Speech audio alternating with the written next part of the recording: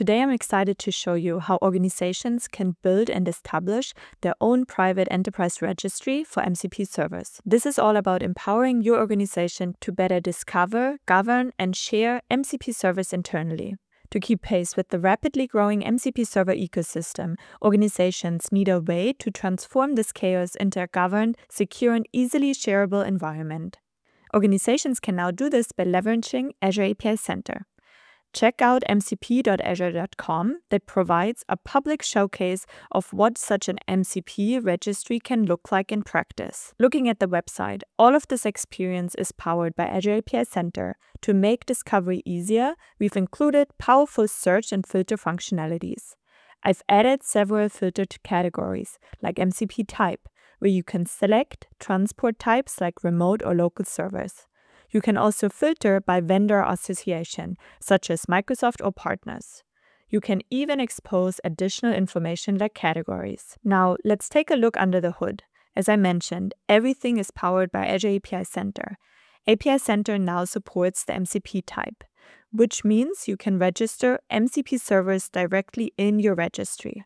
We also use the concept of metadata, which allows you to define customizable fields to store with your MCP servers.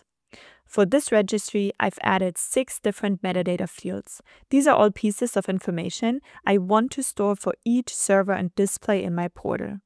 For example, my GitHub MCP server has the following metadata, like visibility is set to true, category is developer tools, and vendor is Microsoft.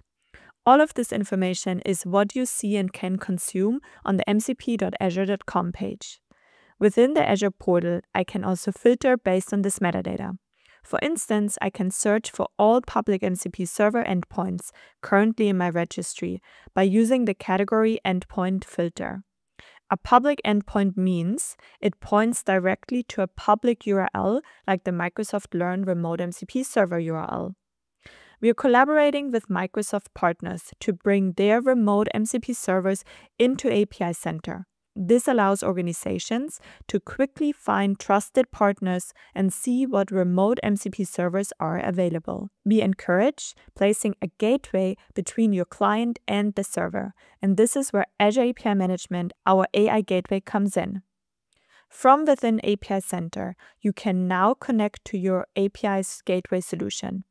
This ensures that when you register a partner solution, it also gets deployed to your API management resource. Please note that this feature is currently being rolled out and might not yet be available in your region. That's exactly what I did with the Microsoft Learn Remote MCP server. I put it behind an AI gateway, giving me a private endpoint. When I switched back to my API Center registry, I created a new entry for the Microsoft Learn MCP server, but this time it points to my API management endpoint instead. So how do we get from the Azure portal to the developer portal you saw in the browser before?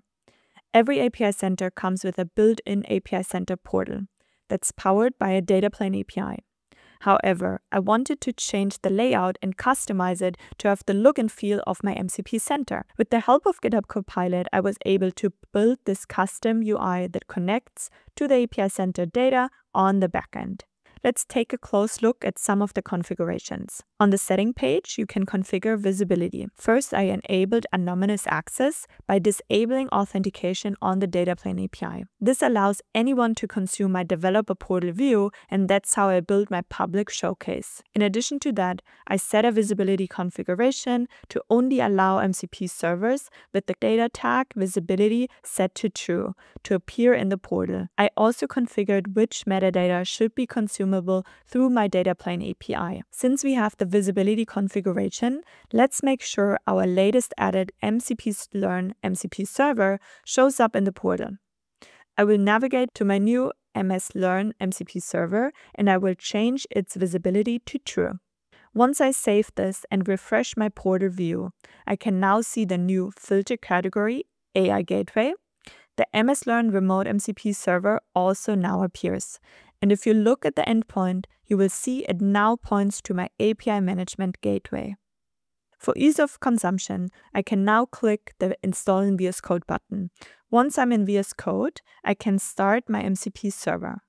This opens my VS Code output window and shows me if my remote MCP server is running and how many tools it has. I'm now ready to use this MCP server with GitHub Copilot in agent mode. For this demo, I'm going to select only the MS Learn server. With that done, I'll now ask Copilot a sample question, like, can I use API Center as an MCP registry? Copilot will now run the MS Learn MCP server based on my question. It looks like Copilot has detected that it needs to run it twice, prompting me to click continue each time. And perfect. I now have the answer to my question. Again, notice that instead of pointing directly to the public endpoint, we use our own MCP endpoint, which is securely placed behind an API management service. In API management, you can configure policies to better control traffic or for security reasons. Another key reasons we put it behind an API management instance is for better observability. And for this demo, I enabled Application Insights. Within App Insights, I've created my own workbook to monitor specific MCP metrics for the MCP Learn server. For example, I can now see how often my MCP server call failed or succeeded. And I can even get a regional analysis to see where my requests are coming from. This is just a glimpse of how you can manage, secure, and monitor your remote MCP servers at an enterprise level. I encourage you all to check out mcp.azure.com to learn more about our solutions. Thank you so much for watching.